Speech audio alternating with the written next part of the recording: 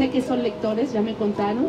Ustedes ya no tienen acceso a ello, primero por lo que implica en la economía, segundo también porque no llegan. Entonces lo que yo quiero decirles es que por lo menos van a tener las lecturas necesarias para que puedan tener su primera biblioteca en su escuela y que eso permita también que sigan aprendiendo, que sigan cuestionando esta sociedad y que se preparen para ser los mejores niños, los mejores adolescentes y los mejores estudiantes de este futuro de todos.